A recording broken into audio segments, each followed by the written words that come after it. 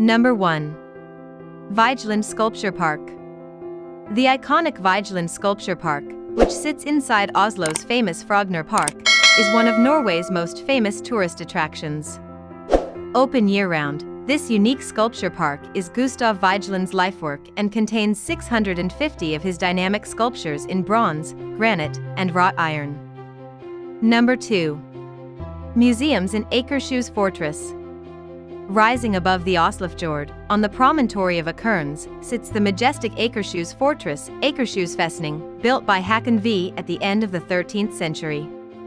You can easily spend the best part of a day sightseeing here. Number 3. Norsk Folkemuseum.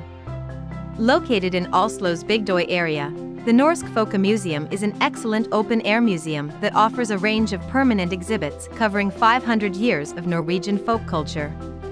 The museum's buildings are divided into several areas that highlight various time periods and settings. Number 4. National Museum. Slated to open in June 2022, Oslo's new National Museum will consist of collections from the National Gallery and the National Museum Architecture, as well as additional collections of contemporary art and design. Number 5. Munch Museum dedicated to the life and work of Norway's greatest painter, Edvard Munch, 1863-1944, the Munch Museum, Munch Museet, contains a vast collection of paintings, graphic art, drawings, watercolors, and sculptures from the great artist's life. Number 6. Royal Palace. Located high up on the northwest end of Karl Johans gate, the Norwegian Royal Palace, Slottet, was built in 1825 and dominates the cityscape. The impressive 173-room building is open to the public for guided tours during the summer only, with English-language guides available four times daily. Number 7 Museum of Cultural History The Museum of Cultural History, Kulturhistorisk Museum, oversees the city's historical museum, which explores various aspects of human history.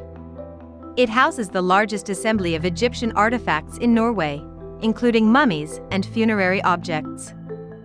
Number 8. Oslofjord. Oslofjord connects the city of Oslo to the North Sea, providing over 750 square miles of protected waterway to enjoy. There are a wide range of cruise options, from fully guided tourist boats with full amenities to more rustic options featuring sailboats. Number 9. The Fram Museum. The Fram Museum, Frammuseet, is a must for anyone with an interest in Arctic exploration. The museum's star attraction is the Fram, an icon due to its many successful polar voyages, as well as GJOA, the first ship to navigate the Northwest Passage. Number 10. Norwegian Maritime Museum. The Norwegian Maritime Museum, Norsk Maritimt Museum, features exhibits geared for all ages, which encourage visitors to step back in time to imagine the lives of seafaring Norwegians over the past thousand years. Hope you like this video for more videos please subscribe to our channel.